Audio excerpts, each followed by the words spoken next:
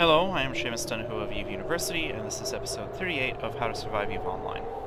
In this episode, we are going to take on the next step of the advanced military chain, so right-click the agent, start conversation. And she wants us to find a fleeing pirate and use a civilian warp disruptor on him. Uh, you may kill any escort vessels that you see, but it's not necessary. So let's accept the mission and the game will talk to you about warp disruptors and warp scramblers. Let me get that out of the way. Uh, and let's look for... Oh, you know what? Let me just use search field. Warp. Here we go. Civilian warp disruptor. Throw that on. Let's click this X to clear the search field. Close this, and let's undock. Now normally, you can use your warp drive whenever you want as long as you meet the conditions to be aligned for warp, moving towards the destination within 5 degrees and going at least 75% of maximum speed. However, if a warp disruptor or a warp scrambler is being used against you that shuts down your warp drive, you cannot warp out. And if it's a fight you're losing, your ship is going to be destroyed. Uh, undivided attention, encounter dead space, warp to location. And I forgot to drop off the core scanner probes back at station. I'll do that when I dock up.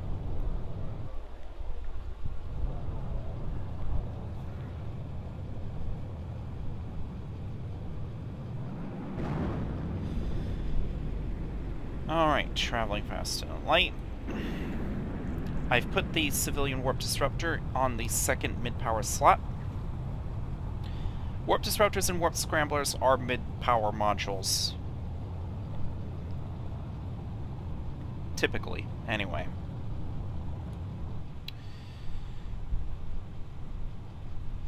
There is the fleeing pirate. Approach, target lock him, turn on your warp disruptor. It's waiting for the target lock. Done. Left click the station, dock. And we are finished. And his buddies despawn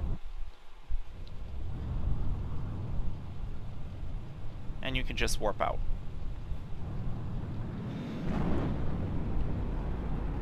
That's pretty straightforward. Warp in, lock the target, warp disrupt them, scare them a bit, warp out.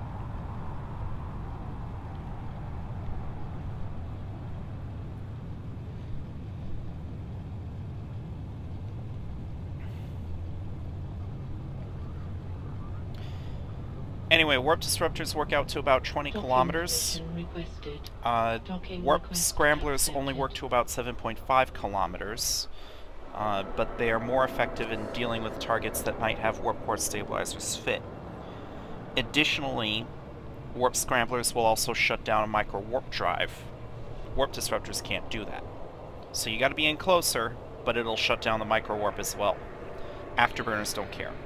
Right click the agent, start conversation complete the mission. Uh, that felt pretty quick.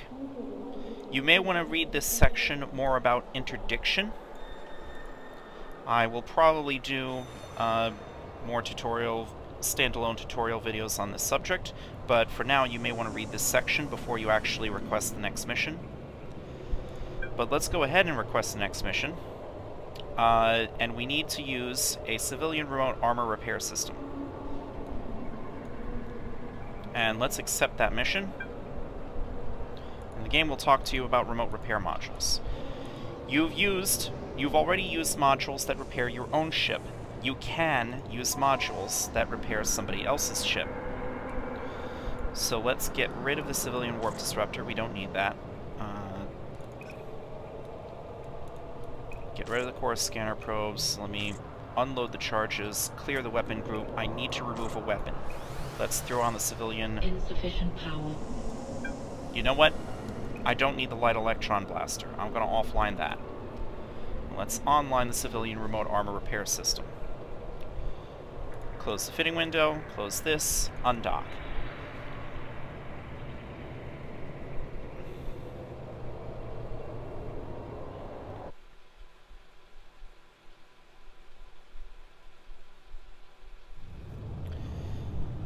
Right-click empty space, a friend in need, encounter dead space, warp to location.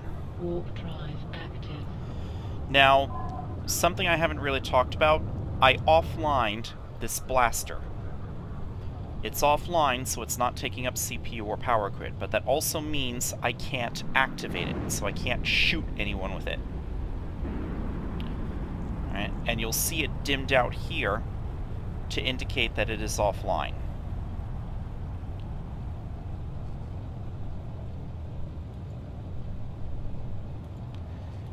If you use the thermodynamics skill to overheat your modules and get more performance out of them, and you burn them out completely, they'll also go offline. And you'll have to dock up in station to repair them.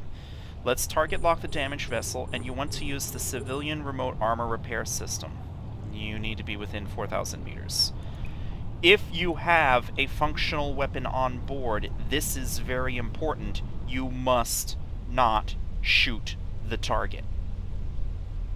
Basic systems are operational once again. We have functional warp drives. Thank you, pilot. I owe you one. I'm getting out of here. Um, that that bit about functional warp drives is flavor text. Damage or for players, damage does not shut down your warp drive.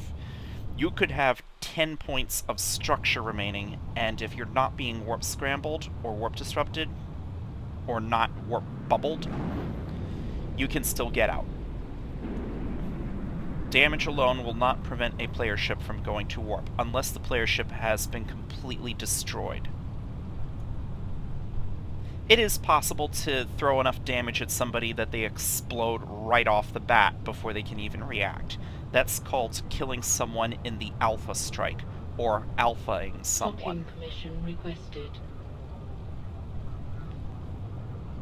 Docking request accepted.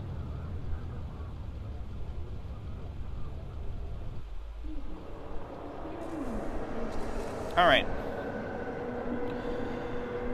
Right-click the agent. Start conversation. You may want to read this stuff about logistics. Uh, but in the meantime, once you finish reading that, go ahead and complete the mission. You'll be given a textbook on, a skill book on remote armor repair systems. See if you can train that now to level 1. And in the next episode, we will take on the next step of the advanced military chain. In the meantime, thank you for watching.